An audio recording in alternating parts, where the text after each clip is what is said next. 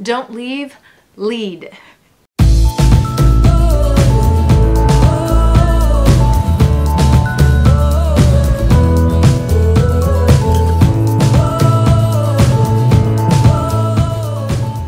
Hey guys, it's been a long time since I've done a video. A lot of things have happened, both in my life and my husband's life, my family's life, um, but also uh, kind of globally. Um, this whole thing with the Catholic Church, and it just, it makes me very, very sad. It does not take away at all from my faith. Um, I hold very dear to my heart. I'm a Catholic through and through, baptized, um, cradle to grave as far as I'm concerned. Um, it's what I was raised on, but it's also what I believe. In any organization, there is good and bad. There are good and bad people. There are good and bad decisions that are made by good and bad people. Um, we're not infallible. And, and, and I say we because the Catholic Church is just the body of Christ. It's made up of all of us.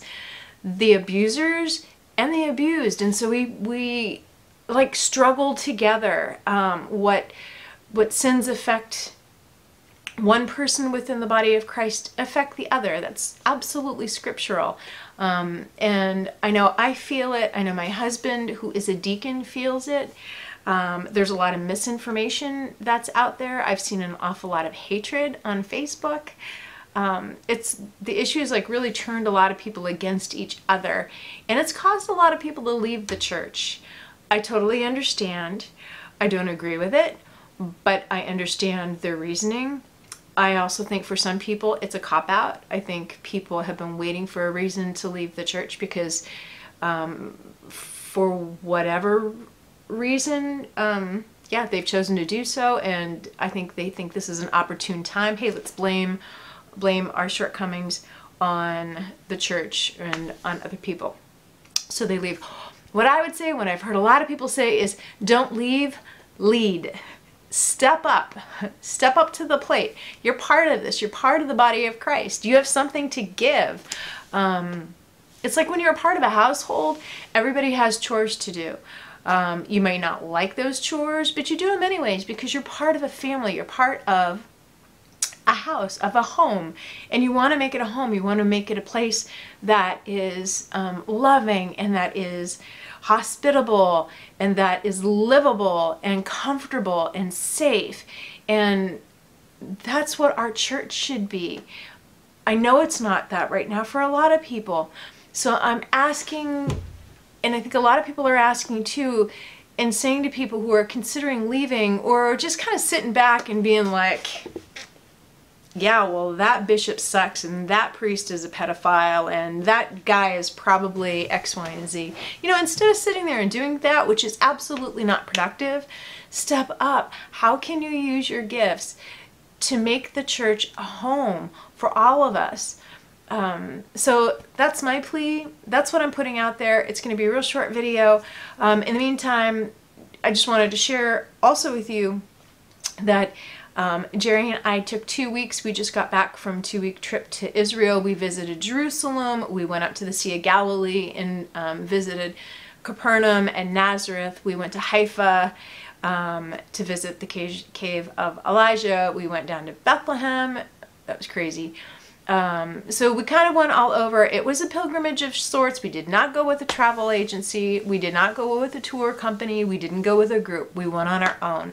We're kind of like full immersion people like we don't know the culture we don't know your language but we want to jump right in there and see what it's like to live as um, somebody who is living in Israel.